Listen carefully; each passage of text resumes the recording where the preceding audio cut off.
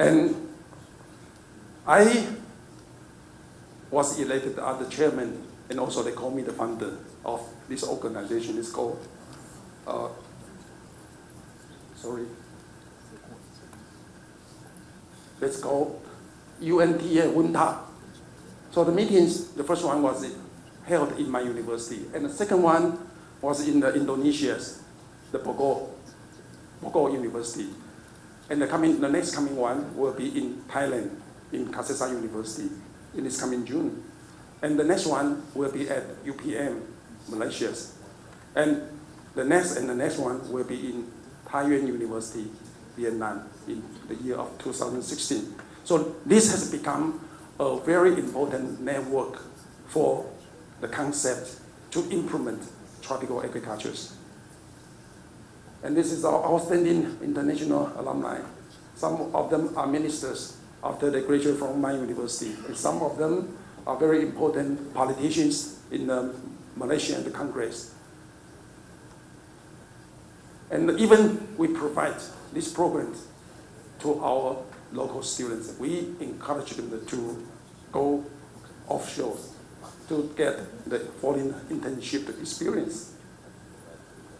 So my last part, the future cooperation for talent cultivation in APEC. I think this is also the, uh, the theme for this forum. I will try to recall your memories that at the first beginning I say agriculture is very important.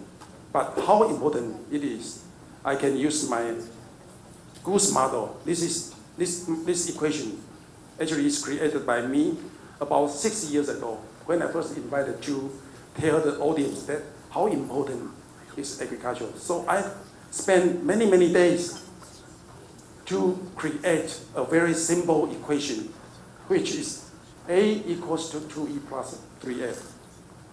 A means agriculture, and 2E, environment and ecosystem. And 3F, the first one is food for human beings.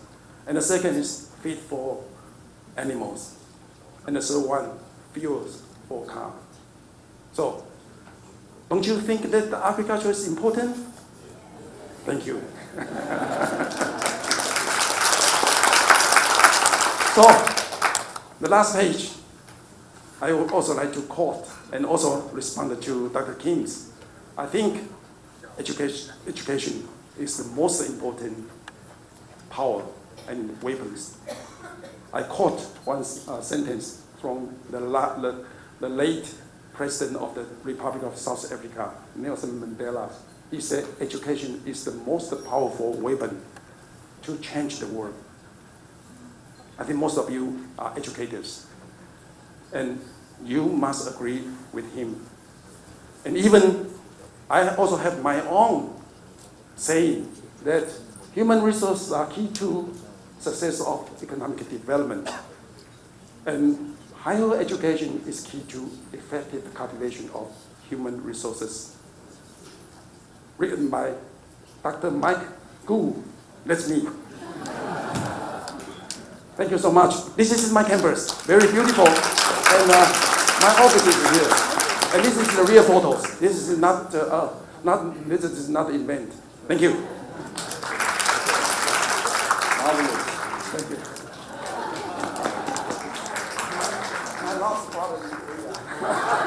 Actually, we are the association, APEC Association for the Big Face Groups. Yes.